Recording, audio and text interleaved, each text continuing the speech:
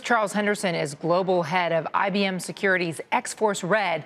Their job is to stay ahead of cyber criminals. Charles, it sounds like you've got your work cut out for you.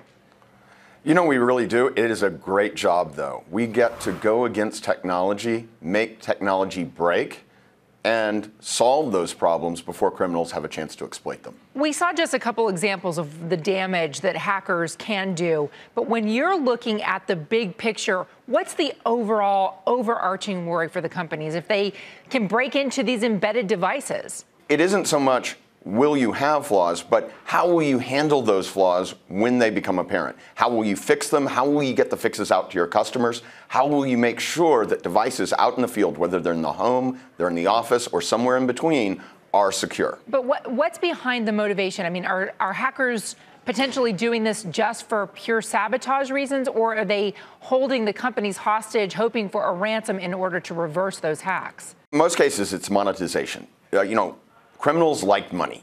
And you know, when, when you can compromise a device, when you can compromise a, a system, it may lead to a, a, an investment that you can get a return on, you can, you can monetize. Um, that could be uh, compromising credentials, that could be compromising financial data, um, or it could be something that that device is connected to. If you think about what we've done, we've invited the internet into our homes, into our offices, everywhere in between. They and it turns out the internet is a crappy house guest. And they call that the Internet of Things when you have your thermostat and your lights and your stereo and your heating all hooked up to the internet. So, how do you protect today's smart buildings, smart homes from this type of hacking? Well, first of all, you test those things before you deploy them in a building, in a home, et cetera. Uh, most consumers can't do that kind of testing, but rely on known brands that, that, that will have done that kind of testing on their own. Um, and, and the second thing is make a risk judgment. I mean, do you really need to see what's going on inside your fridge from across town? These, these are legitimate questions you need to ask because everything you, you do with Internet of Things, with these embedded devices, brings about risk. So it's a risk reward uh, ratio. What do we as consumers do proactively to keep those things that are internet con- connected safe, to keep our personal data that might go into that safe?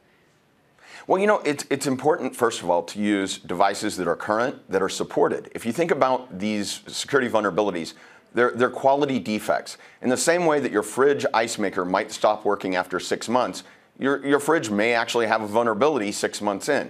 You want a company that will take care of that ice maker, that will replace that ice maker under warranty, and will have a good repair record because chances are, if they can replace the ice maker, they can come up with a security patch and fix to deploy to your fridge. I, I know I'm going to ask you this as a big picture question and, and your focus on individual companies, but do you think companies are doing enough to protect themselves and their customers from this kind of intrusion?